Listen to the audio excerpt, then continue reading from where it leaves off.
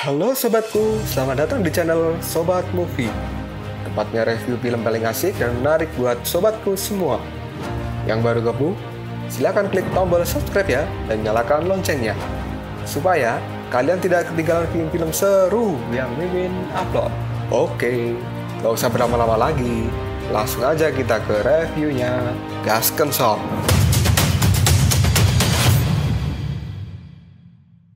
Hey oke sobatku terkeren terkecil terbaik tersemuanya kita masih bersama sobat movie channel alur cerita terasik sepanjang masa.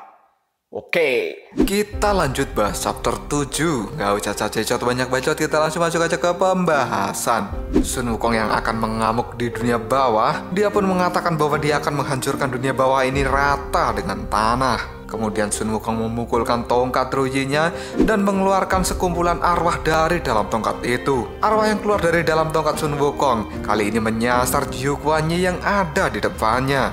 Jiu Kuanyi pun mengatakan pada Sun Wukong, Hei, apa yang kau lakukan Sun Wukong? Kamu sangat kurang ajar. Sun Wukong menjawab perkataan dari Jiu Kuanyi. Itu hanyalah kelompok hantu yang lapar. Dan hantu ini akan kuberikan padamu sebagai hadiah. Dan tiba-tiba saja, sekelompok hantu lapar itu pun saat ini terkena sebuah sabetan pedang yang ternyata sabetan itu dilakukan oleh roh api yang muncul di depan Jiu Kuanyi. Kemudian Jiu Kuanyi berkata pada Sun Wukong, Hei Raja Monyet, leluconmu ini sungguh tidak lucu dan akan berakhir saat ini juga. Setelah mengatakan seperti itu, Kali ini Jiu Kuanyi menyuruh roh api untuk melakukan serangan pada Sun Wukong. Lalu Sun Wukong kali ini mengatakan, Hei, siapa kamu? Beraninya kau berlari di depanku dan menantang seorang raja kera yang hebat.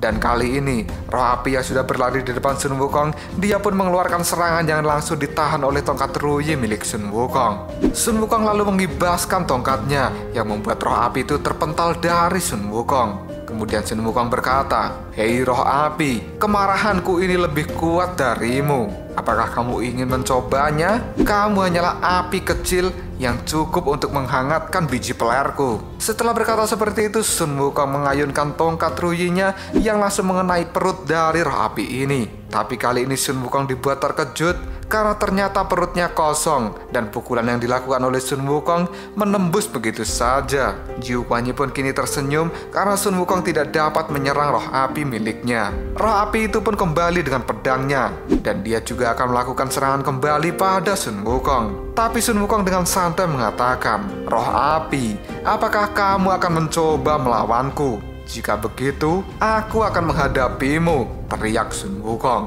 Sambil berteriak, Sun Wukong pun kini melompat dan akan memukulkan tongkat ruyinya pada si roh api. Dan Sun Wukong mengatakan, Roh api, aku akan memberikanmu satu hadiah dan terimalah ini. Pukulan tongkat yang dilakukan oleh Sun Wukong itu kali ini mampu meretakkan kepala dari roh api. Kemudian Sun Wukong akan kembali melakukan pukulan lagi dan dia mengatakan, Wahai roh api, kembalilah kamu ke tempat asalmu. Tapi pukulan keras yang dilakukan Sun Wukong itu ternyata tidak mampu menghancurkan kepala dari roh api. Dan kali ini, Ju Kuanyi mengatakan, roh api ini tidak akan ada habisnya.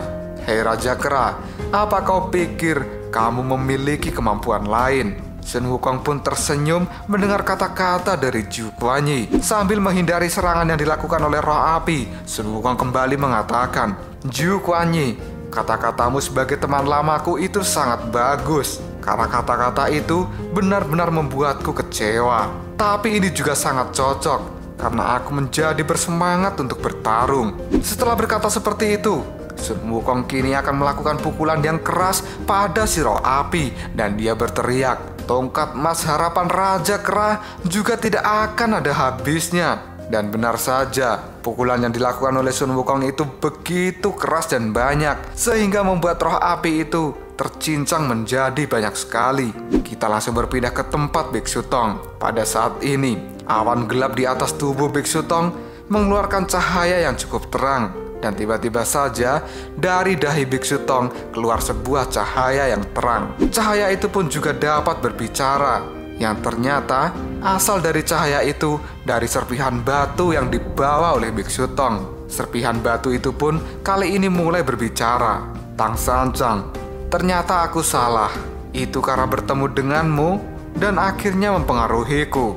Tapi itu semua karena aku percaya bahwa yang kamu katakan itu adalah cinta yang besar yang membuatku ragu lagi dan lagi. Sampai akhirnya aku sampai di batas ini. Cerita pun kemudian flashback ke masa kecil Biksu Tong. Pada saat itu, Biksu Tong kecil sedang berlarian mengejar seekor capung yang ekornya diikat dengan tali dan batu.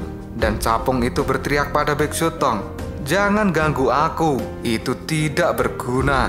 Kemudian Biksu Tong yang berlari dia pun berhasil menangkap tali yang terikat dengan capung itu. Biksu Tong kemudian menarik talinya yang membuat si capung kali ini terjatuh dan mati. Melihat si capung mati, Biksu Tong pun kini mengatakan, Bukankah aku sudah memberitahumu? Kenapa kamu malah ingin kabur dariku? Lihatlah, akhirnya kamu seperti ini kan? Di saat Biksu Tong merasa sedih karena capungnya mati, tiba-tiba ada suara yang mengatakan, Wahai anakku, apakah sekarang kamu menyesali atas perbuatanmu? Biksu Tong pun menoleh, lalu dia mengatakan, Siapa itu? Dan ternyata ada seorang wanita yang duduk di atas batu bulat. Wanita itu pun mengatakan, Apakah kamu tahu kenapa kamu tidak bahagia? Hei anakku, kamu itu tidak bahagia karena kamu belum menembus kebaikan yang besar dan cinta yang agung. Itulah alasannya. Biksu Tong pun tertarik dengan wanita itu. Dia pun mendekatinya lalu bertanya, "Jadi bagaimana jika hal itu ditembus? Apakah aku akan sangat bahagia?" Wanita itu pun menjawab, "Jangan khawatir. Jika aku menceritakan sebuah kisah, kamu pasti akan mengerti. Dan kali ini, wanita itu pun mulai bercerita pada Biksu Tong. Hai Tangsan kecil, perkenalkan, aku adalah roh batu dan aku akan mulai bercerita padamu. Pada suatu hari, seekor ular datang padaku untuk berlindung dari angin dan hujan. Dan pada saat itu, aku berpikir aku mengizinkannya karena itu adalah sebuah kebaikan dan cinta yang besar. Tapi ternyata pada saat itu juga ada seekor katak yang berlindung di balik tubuhku. Dan tiba-tiba saja katak itu pun dimakan oleh sang ular. Sekarang katakan padaku, dari cerita itu, apakah aku melakukan sesuatu yang salah pada si katak? Mendengar cerita itu, Biksu Tong kecil menutup telinganya dan dia pun berlari karena dia tidak mau lagi mendengar cerita dari si roh batu. Roh batu pun berkata pada Biksu Tong, "Jika kamu tidak mengerti hari ini tidak masalah, karena aku punya cerita lain untukmu." Keesokan harinya, Biksu Tong kembali menghampiri batu bulat itu. Kemudian roh batu kembali muncul di atasnya. Melihat kedatangan dari Biksu Tong ini, roh batu langsung mengatakan, "Sepertinya hari ini kamu sangat bahagia." Dan tiba-tiba saja, Biksu Tong memberikan roh batu sebuah roti dan mengatakan, silakan makan roti ini. Roh batu pun mengambil roti yang diberikan oleh Biksu Tong dan dia mengucapkan, terima kasih atas roti ini. Dan terima kasih karena kamu sudah tidak marah padaku. Melihat roh batu menerima roti pemberiannya, Biksu Tong kali ini tersenyum seperti ada sesuatu yang disembunyikan dari pikirannya. Kemudian roh batu itu pun menggigit roti yang diberikan oleh Biksu Tong dan lalu Biksu Tong mengatakan, Hei roh batu, apakah kamu tahu bahwa roti kukus ini adalah roti curian? yang artinya roti kukus ini bersalah dan kamu juga bersalah karena telah memakannya. Roh batu pun menjawab perkataan dari Biksu Tong. Hai Tangsan, roti ini tidak bersalah dan aku pun juga tidak bersalah.